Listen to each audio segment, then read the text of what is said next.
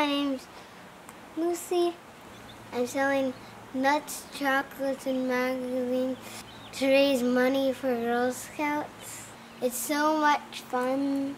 I am really excited about the dark chocolate mint penguins. They look yummy.